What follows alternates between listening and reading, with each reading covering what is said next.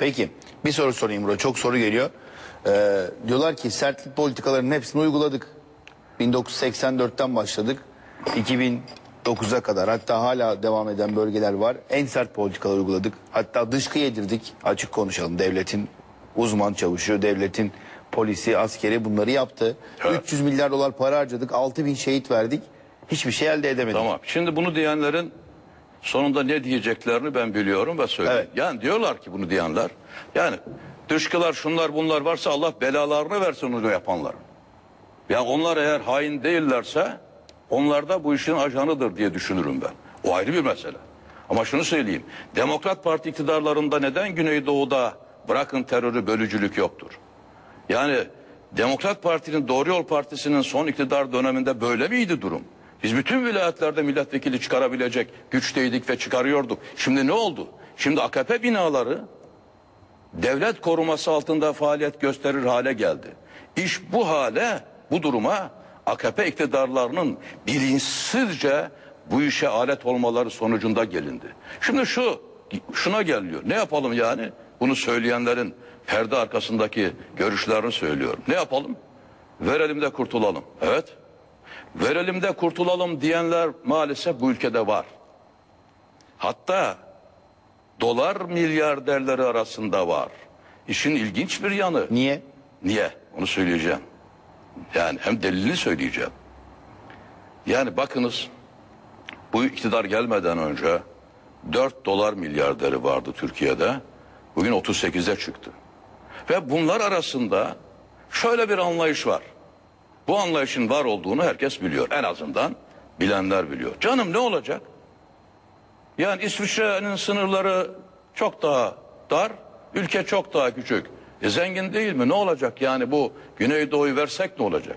Ama onların bilmediği bir şey var. Yıllarca önce Kürt kökenli, önce tabii bunu ayıralım. Yani Kürt başka, PKK başka. Ben PKK'ların da, PKK'cıların da Kürt olduğuna inanmıyorum. Onu da söyleyeyim yani. Evet. Yani bir takım insanlar eğer Kürt olsalar bu kadar Kürt köyünü yok ederler miydi? Çocuklar, bebekler dahil olmak üzere. Bir oyun oynanıyor Türkiye üzerinde. Kürtleri ayırmak lazım. Bizim Kürtlerle bizim dediğimiz yani Kürt olmayan bu Anadolu insanının, Türkiye insanının Kürtlerle ne problem olabilir ki? Benim en yakın kirvem Kürt, Kırmanç. Benim korumam Kürt. Benim şoförümün anası Kürt, hanımı Kürt. Bizim partimizin haysiyet divanı başkanı Kürt. Yani hayatımı ben Kürtlere emanet etmişim. Kürtlerle benim bir meselem yok. Benim büyüklerim var Kürt asıllı. Ya bu ülkede bütün ülkenin maneviyat büyükleri var. Kürtçe konuşurlar. Yani mesele Kürt meselesi değil. Mesele BAM PKK meselesidir. Ve Kürtleri bu PKK zulmünden de kurtarmak gerekir. Şimdi şunu söylüyorum. O büyüğün, o Ehl-i Beyt soyundan gelen ve Kürt kültürü içinde yetişen bir büyüğümün söylediği bir sözü söyleyeceğim. Dedi ki sakın dedi bu teröristlere Güneydoğu'dan 3-5 vilayeti vererek kurtulacağınızı zannetmeyin. Eğer böyle bir yanlış yapılırsa orada oluşan bir terörist devlet uzun zaman Türkiye'nin başının belasıdır. Daha yakına geldiği için ve sığınakları uluslararası koruma altına da alınacağı için Türkiye'nin her yerini kana bularlar. Yani vererek kurtulmak yok. Böyle bir şey yapıldı da yani böyle düşünenler Vererek konuşsunlar. değil de sertliği demokratik Yok, sertlik- açılıma çevirdiğimiz Efendim, zaman. Demokratik açılım değil ki bu vermek. Niye vermek bakınız. Şimdi en son Şimdi verme gel- yoluna girdik mi?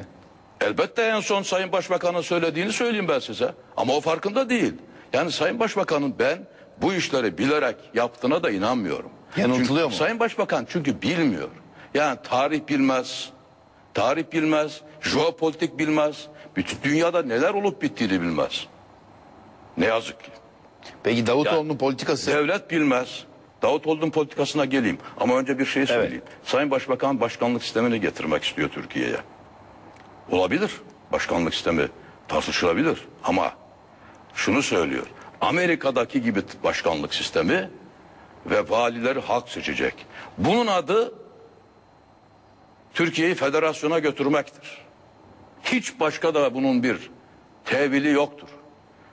Peki şu Türkiye şu haldeyken Güneydoğu'da 10-15